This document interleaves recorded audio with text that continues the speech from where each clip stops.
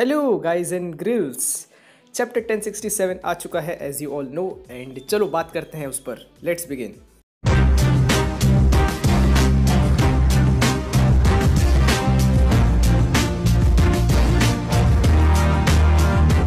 Okay so इस chapter में हमें इन्फॉर्मेशन ही मिला है बस, और सेटअप हुआ है सी पी ज़ीरो और वेगा पंक के फड्डे का.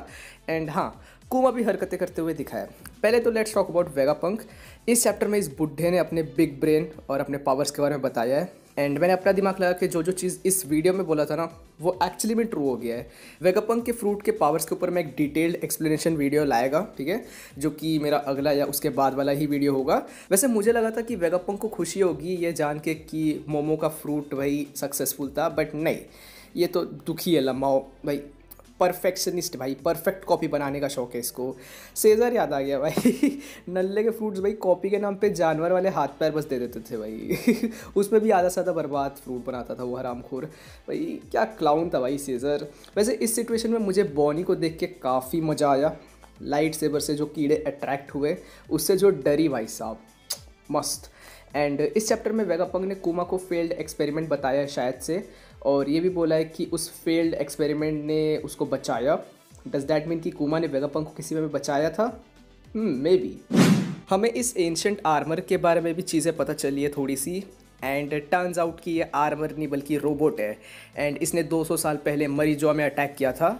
इससे एक चीज़ पता चल गया और वो ये है कि मरीजवा कम से कम 200 साल पहले से रेड लाइन के ऊपर है विच मीन्स लूनेरियन काफ़ी पुरानी स्पीसीज़ है। इस छोटे से फ्लैशबैक पैनल में हम ये देख सकते हैं कि ये आयरन रोबोट का एक हॉर्न ऑलरेडी टूटा हुआ था जब इसने मरीजवा पे अटैक किया था। मतलब कि ये हॉर्न वर्ल्ड सेंचुरी के टाइम पर टूटा था। इज़ इट अ कोइंसिडेंस कि काइडो का भी लूफी ने लेफ़्ट हॉर्न ही तोड़ा था? इज़ दिस इंडिकेटिंग दैट उस टाइम के जॉर्बन ने इस आयरन जाइंट के लेफ़्ट हॉर्न को तोड़ा था? मे बी इस थ्योरी वीडियो को देख लेना और ढंग से समझ जाओगे कि मैं क्या बोलना चाह रहा हूँ।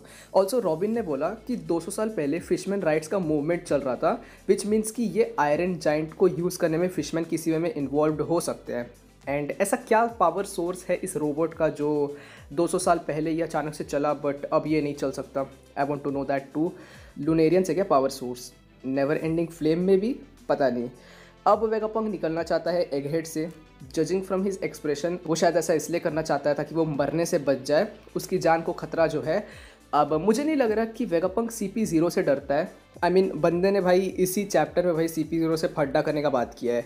आई थिंक कि वेगापंक यूरेनस से डर रहा है। कन्फर्म नहीं है कि यूरेनस है वर्ल्ड गवर्नमेंट के पास बट जो भी चीज़ से ईमू ने लुलूशिया उड़ाया था आई थिंक वेगापंक की उस चीज़ से फट रही है कि कहीं लुलूशिया जैसे एगहेड भी ना उड़ा दे world government C P zero के ऊपर भी चैप्टर ने थोड़ा ध्यान दिया है। सी पी ज़ीरो को ये पता है कि बॉनी एगहेड में है बट ये नहीं पता कि स्ट्रॉहेड्स भी है।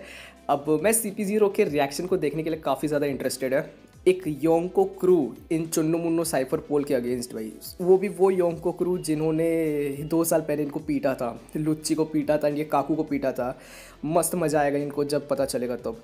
ऑल्सो बॉनी का पर्पस के बारे में लुच्ची ने थोड़ा सा ज़िक्र किया है। मुझे जहाँ तक लग रहा है कि वर्ल्ड गवर्नमेंट ने बॉनी से कोबरा को मरवाया है शायद। और शायद इसी पर्पस की बात कर रहा है लुच्ची। अगर ऐसा केस नहीं है तो फिर कौन से पर्पस की बात कर रहा है? I want to know that to हम लोग को सून एक battle between Vegapunk and C P zero दिख सकता है। शाका भाई तो भाई फुल लड़ाई के मूड में लग रहा क्योंकि वो वो लड़ाई करेगा भाई। And C P zero deserve भी करती है भाई पिटना सच बताऊँ तो। एंड लास्ट uh, में हमें रेवोल्यूशनरी आर्मी का थोड़ा सीन दिखा है। कुआँ पता नहीं क्यों अचानक से उठ के कहीं भागते हुए दिखा है। ये जिस तरीके से भगा है ना भाई, कितना फ़नी लग रहा है देख के। ड्रैगन ने जो चीख के पूछा है वो भी मैं पूछना चाहता हूँ। कहाँ भगने निकल गया था ये? बताओ ओडा जल्दी। वैसे नहीं पता चलने वाला हमको जल्दी, क्योंकि नेक्स्ट वीक ब्रेक है। एंड ये चैप्टर का जो मेन चीज़ था ना, जिस पर अच्छा खासा बात किया जा सकता है, वो है वेगापंक के पावर्स बट उसी मेन चीज़ को मैं एक स्पेसिफिक वीडियो में कवर करेगा। बाकी तो ऊपर ऊपर से ओडा ने बस छू दिया है। आने वाले चैप्टर्स के लिए मैं काफ़ी ज़्यादा एक्साइटेड है। काफ़ी चीज़ हमें पता चलने वाला है। I am damn sure about it and that's it अब नेक्स्ट वीडियो में ही आवाज़ सुनने मिलेगी तो बाय बाय